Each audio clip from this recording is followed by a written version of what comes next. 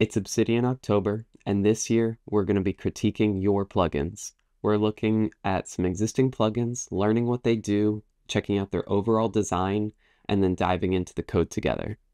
First up, Obligator. Let's jump into it and install Obligator from Obsidian's community plugin directory.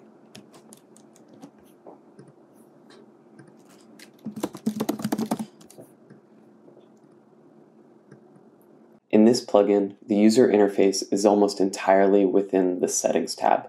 So let's go ahead and click Options. Immediately, I'm noticing some issues. The screen doesn't quite feel like part of Obsidian. The team at Obsidian actually publishes a guide on how a plugin's settings tab should look and feel in order to be uniform with the rest of the app. So I recommend that all plugin developers actually take a look through this guide as it provides some nice rules to follow as well as practical general advice. There will be a link in the description below. Let's make our way through these rules and see how they apply to Obligator.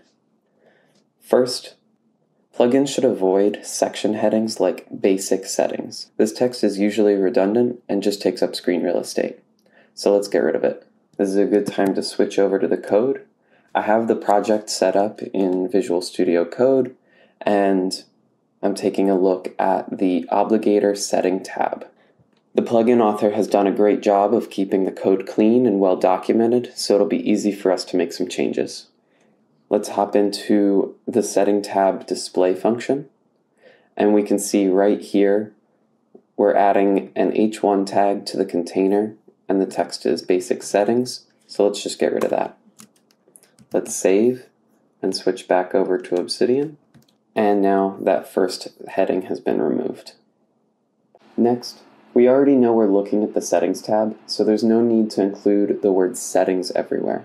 Let's go ahead and remove that.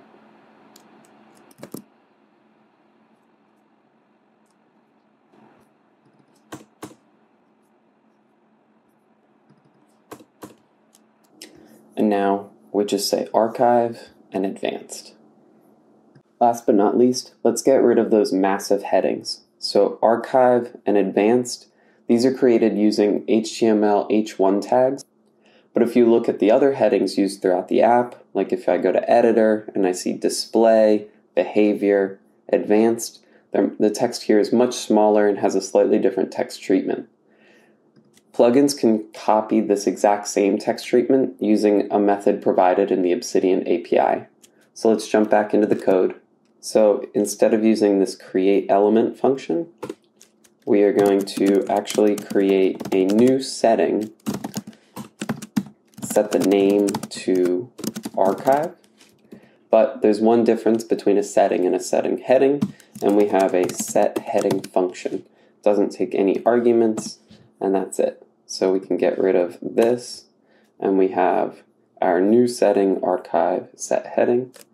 And while we're here, let's do the same thing for advanced. So let's get rid of this advanced, and instead we have advanced. So let's save, and let's jump back into Obsidian. And now you can see archive and advanced have the same text treatment used throughout the other settings in the app. That takes care of the layout issues, but let's go through the settings themselves and make sure that they make sense and are easy to follow. So first, I think we should move these two settings, initial heading and terminal heading, so they appear right after the template file setting. That'll make it more clear that the two settings are related. So jumping back into the code, let's find where those two settings are defined. And let's cut them and paste them right after the template file setting. Switching back into Obsidian, we now see that the initial heading and terminal heading settings show up right after the template file. Now, I think the more important thing we need to do is I think we should hide these two settings until there's a template file that's configured.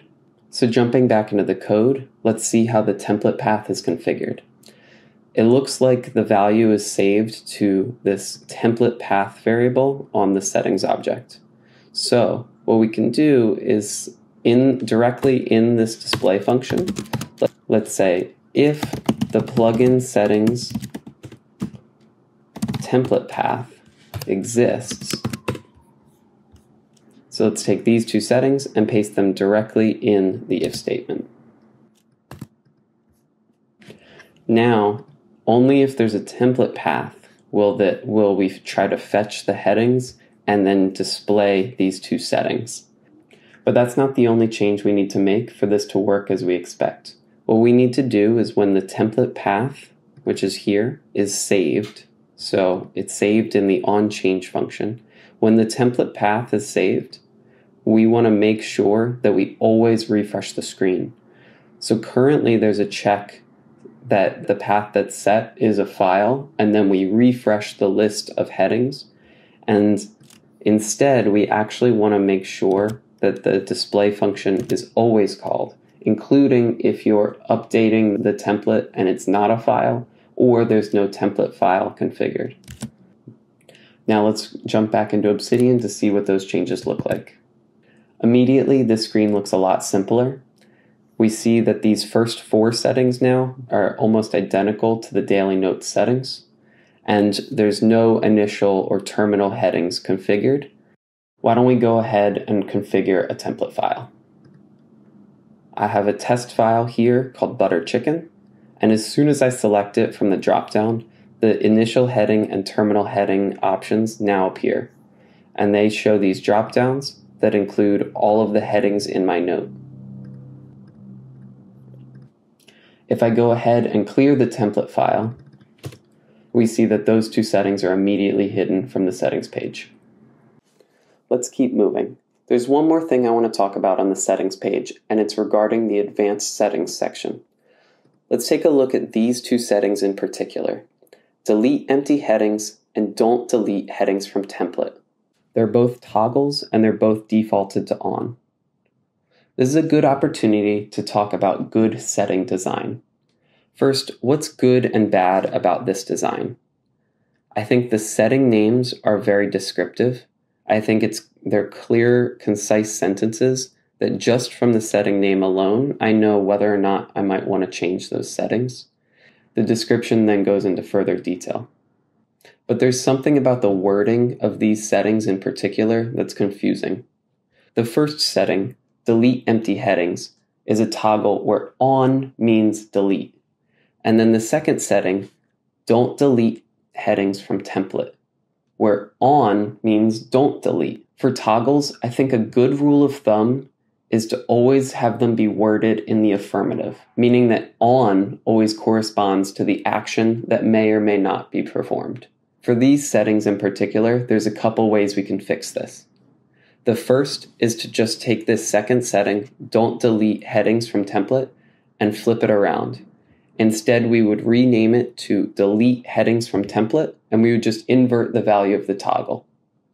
The second option is to change the action that's being performed.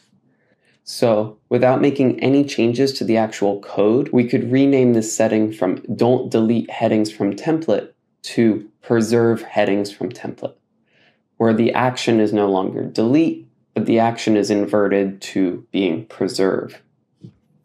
Let's jump back into the editor and make those code changes.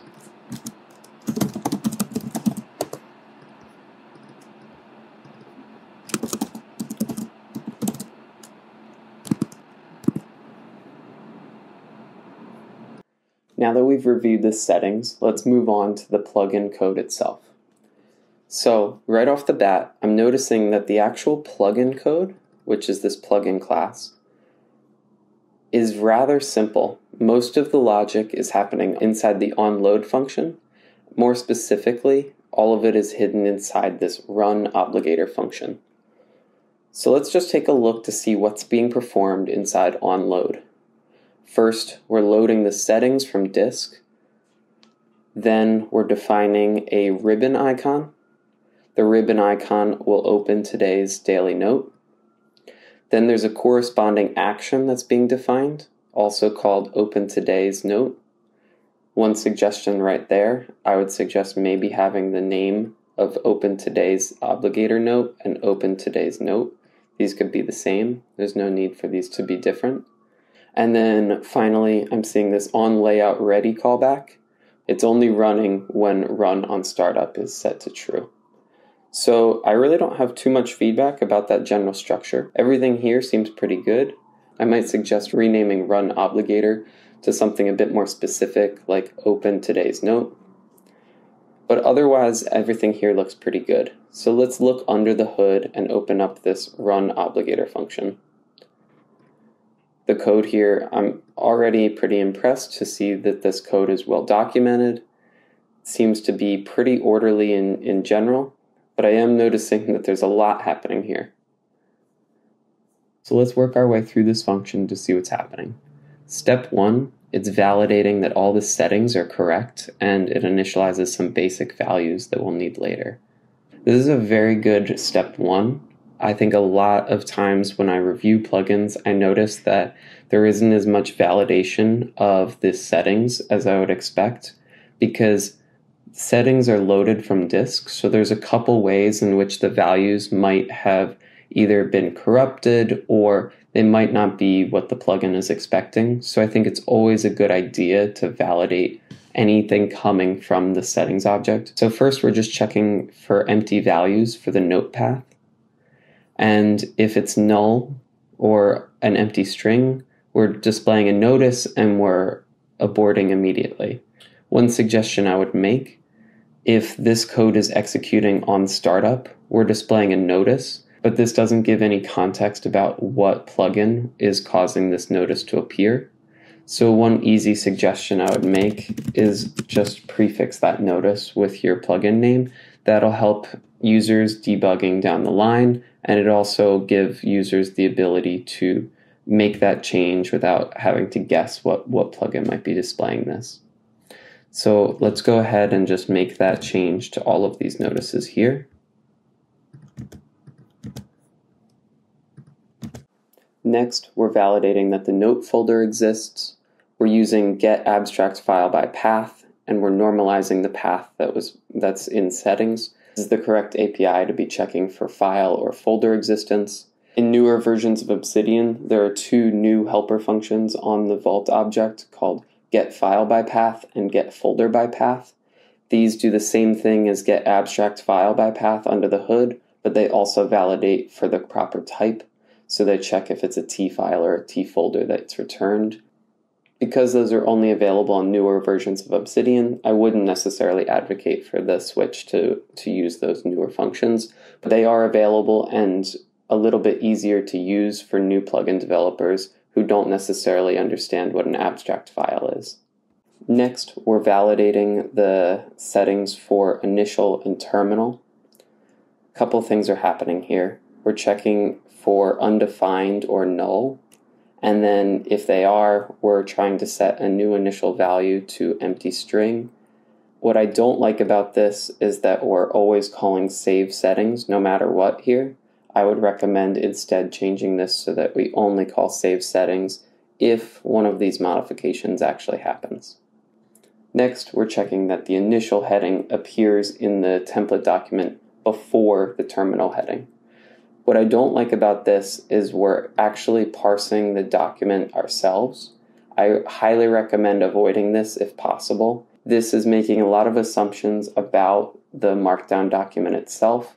There's a lot of edge cases involved in parsing Markdown, specifically around Markdown headings. There's a lot of different formats that a heading could appear in, so this kind of validation is very error prone. Instead, I would recommend using the metadata cache and using the heading text from the metadata cache. I'm not going to show that change now because it's likely a breaking change since the metadata cache stores headings in a slightly different format than this plugin is expecting. The last bit of feedback that I have is actually more of a feature request. So I think it might be nice for being able to open that daily note in a new tab. And in order to do that, we just need to make a modification to how this active leaf is chosen. Right now it's using get leaf, but get leaf accepts a few different arguments. And what we can do is we can we can have it take in a pane type. and we're going to have run obligator accept a pane type argument. Pane type is an enum that is returned from Obsidian, has a few different types, including tab, split, or window. Um, the other uh, argument that getLeaf accepts is a boolean, so we're gonna we're gonna try and mirror the exact same type here.